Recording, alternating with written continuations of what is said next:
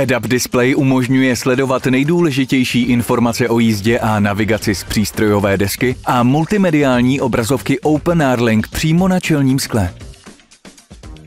Když je nastartován motor, promítají se informace jako rychlost jízdy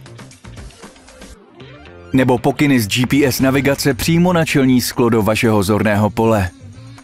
Výsledkem je vyšší jízdní pohodlí i bezpečnost –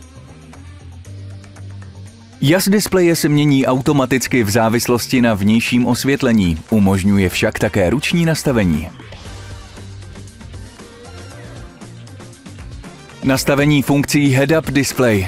Přejděte do sekce Vozidlo na multimediální obrazovce OpenR Link. Vyberte položky Vozidlo,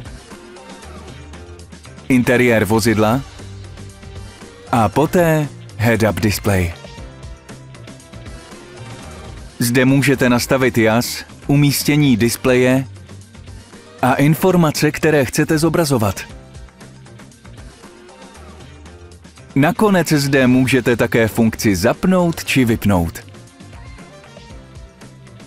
Tato nastavení lze měnit pouze, když vozidlo stojí a motor je v chodu.